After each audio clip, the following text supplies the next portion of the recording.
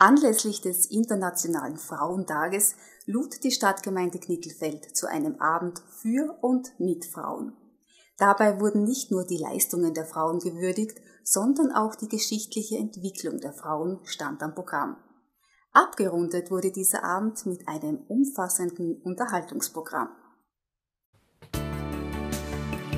Anlässlich des Internationalen Frauentags lud die Stadtgemeinde Knittelfeld zu einem Abend für und mit Frauen in den großen Saal des Kulturhauses ein. Alle Damen, ob jung, ob alt, waren eingeladen und auch Männer haben vorbeigeschaut. Wir feiern heute im Kulturhaus den Internationalen Frauentag. Es war das letzte Mal vor 15 Jahren, dass so eine Veranstaltung im Kulturhaus stattgefunden hat. Und heute ist unser Saal voll. Ich bin zufrieden und glücklich, dass so viele Frauen gekommen sind, aus vielen Nationen, mit uns gemeinsam zu feiern.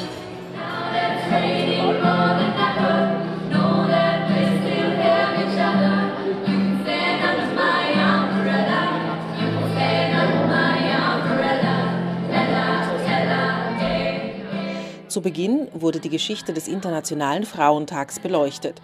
Die deutsche Sozialistin Clara Zetkin forderte bereits 1910 die Einführung eines Frauentages. Es ging dabei um die Gleichberechtigung, das Wahlrecht für Frauen und die Emanzipation von Arbeiterinnen. Heute will man auf die mehrfache Diskriminierung und Ausbeutung von Frauen und Mädchen in aller Welt aufmerksam machen.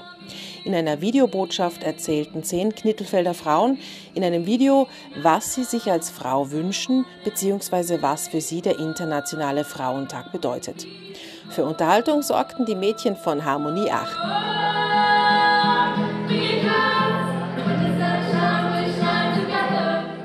bekannten Steirer Herzen brachten steirische Volkstänze aufs Parkett.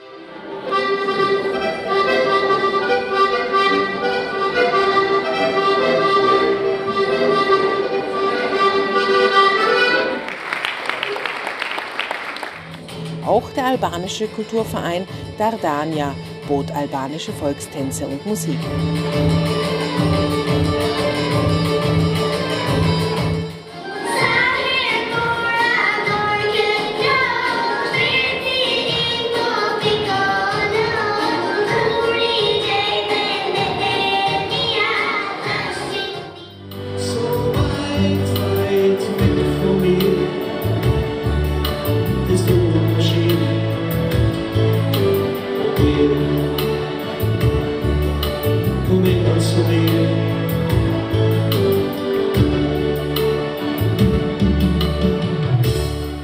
Es war ein sehr schön gestalteter Abend mit vielen internationalen Gästen auch. Es ist jetzt nicht nur um Frauen gegangen und das hat mir sehr gut gefallen, auch die äh, verschiedenen Kulturen, wie die Frauen eben das so feiern, äh, kennenzulernen.